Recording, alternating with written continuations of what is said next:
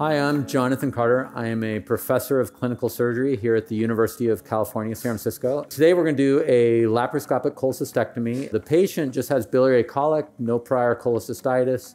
So we're anticipating a straightforward case, not a lot of chronic inflammation. Hopefully it'll be nice and easy. Here we go.